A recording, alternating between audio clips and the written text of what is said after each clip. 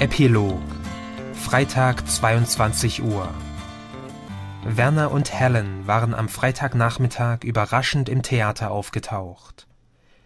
Werners Delegation durfte nicht in Nordkorea einreisen, und so nutzten die zwei das Wochenende für eine Stippvisite nach London.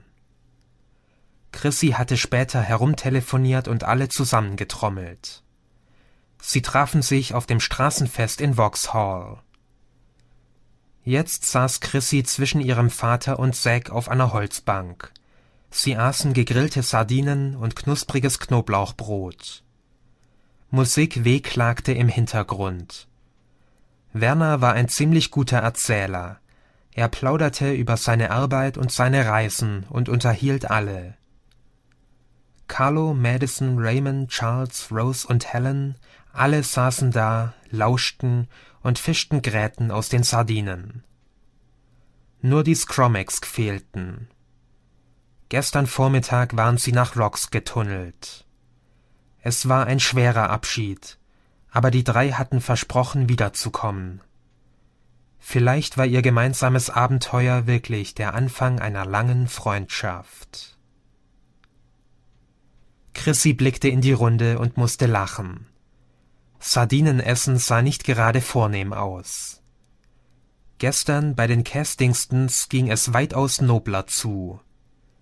Gepflegtes Speisen, gepflegte Unterhaltung und gepflegte Manieren. Madisons Großmutter war eigentlich ganz cool. Die Lady war ziemlich gut über Chrissys Familie informiert.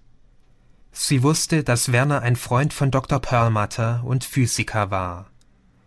Sie war sogar darüber im Bilde, dass er der Expertenkommission angehörte, die, falls die politischen Umstände es erlaubten, die nordkoreanischen Atomanlagen inspizierte.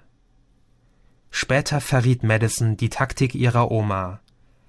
James legte über alle Gäste ein kleines Dossier an.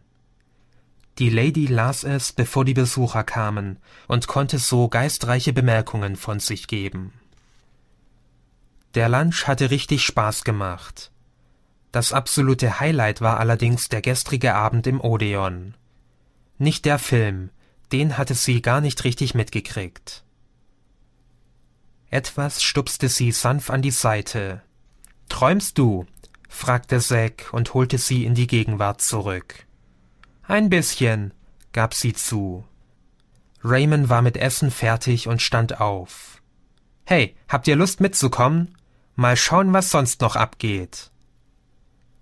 Sie zogen zu viert über das Straßenfest.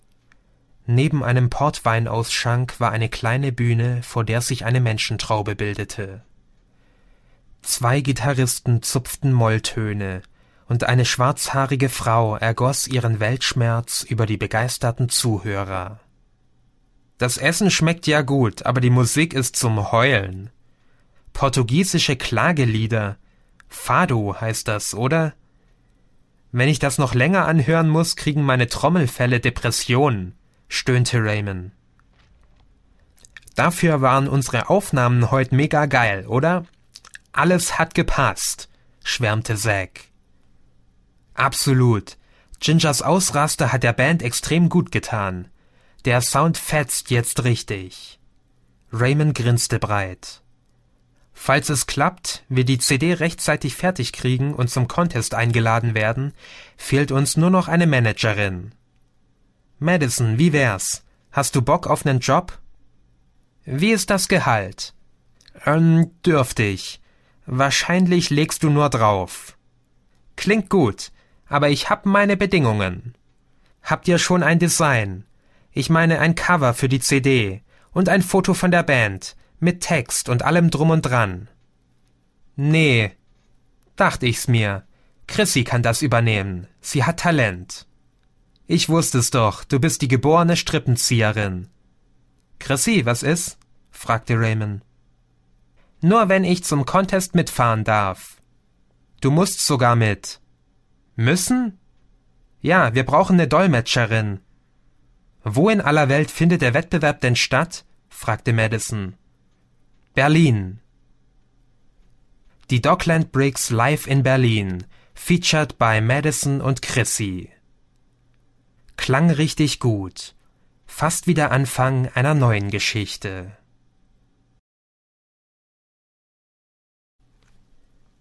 Message von den Dockland Bricks. Leute, drückt uns die Daumen. Falls wir beim Contest angenommen werden, halten wir euch auf dem Laufenden. News gibt's unter docklandbricks.scromex.eu oder zur gegebenen Zeit im Buchhandel. Scromex Berlin. Bis dann. LZSG. Message aus Roxk. Haben Order zurückzukehren. Passt auf, mit wem ihr chattet. LGB.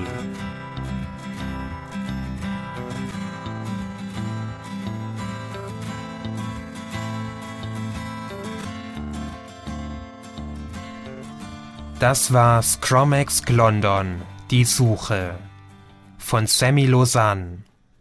Gelesen von Alexander Wilk. Die nicht kommerzielle und unbearbeitete Weitergabe des Hörbuchs ist erlaubt. Auch erhältlich ist Scromex Berlin 13 12 Echse als Buch oder E-Book bei scromex.de